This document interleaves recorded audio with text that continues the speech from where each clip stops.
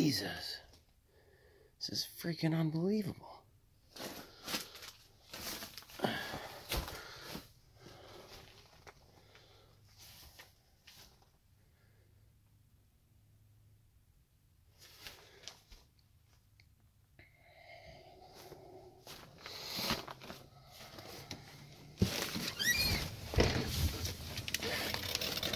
Alright, can you fit through the door?